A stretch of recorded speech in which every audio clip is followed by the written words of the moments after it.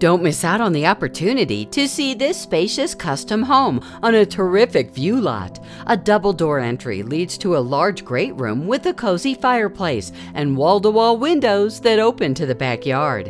Enjoy an eating kitchen, formal dining, and a great outdoor living area with awesome mountain views. Call Dale Pavlicek to learn more.